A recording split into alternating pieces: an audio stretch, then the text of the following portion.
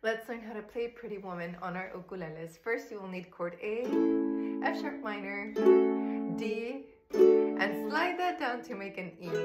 The strumming pattern that I'm doing is down, up, chuck up, down, up, chuck up, and then I switch to the next one. Down, up, chuck up, down, switch back,